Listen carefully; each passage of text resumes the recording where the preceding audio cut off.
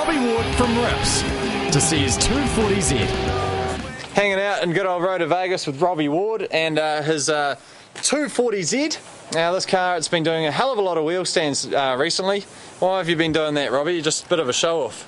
Uh, no, not really, mate. We, we've uh, found that the, the transmission hasn't been quite right, so we arrived at the Nats and we thought, well, we're here, and uh, rather than just be a bit of a sook, we thought we'd wind her up and at least get some good launches going for everybody. So, yeah, we, we just got to detune the wheel stands a little bit, and uh, then uh, once the transmission's sorted, we'll be a lot quicker. I was running nine ones at 150 miles an hour. Um, With wheel stands included. including wheel stands and basically no top gear.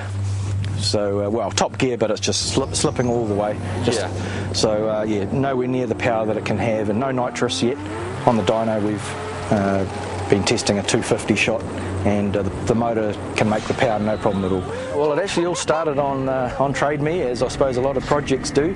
Uh, I saw it there with a uh, small block Chev in it, and I liked the old school sort of thing, and it was something a bit different basically with the setup of the car we could throw pretty much whatever power we could make at it and use it to test the engines. From the day that I saw it I decided that it was exactly what I wanted and uh, I was sort of hoping that it might do some good wheel stands as well which it does so. Well RB30s is pretty much what I specialise in. 99% of the motors I build are RB30s.